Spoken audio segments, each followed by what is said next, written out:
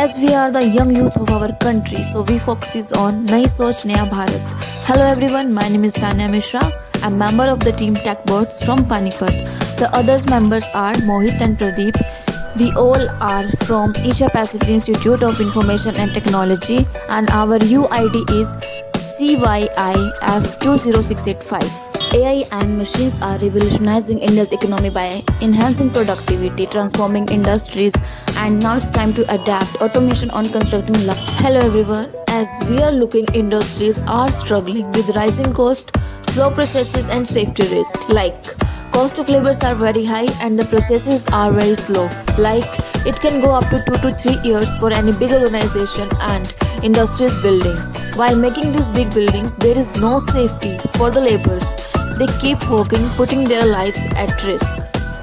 We are looking industries are struggling with rising cost, slow processes and safety risk. Like cost of labors are very high and the processes are very slow. Like it can go up to 2 to 3 years for any big organization and industries building. While making these big buildings there is no safety for the laborers. They keep working putting their lives at risk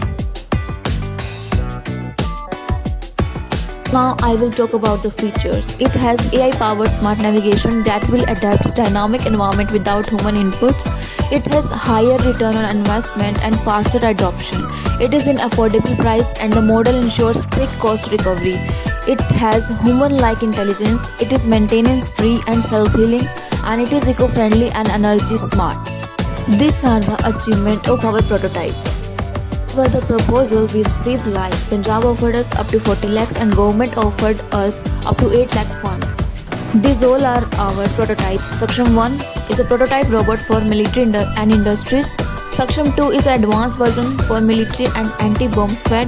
Astha 1 is a 3D printer arm for industries that uses work autonomously.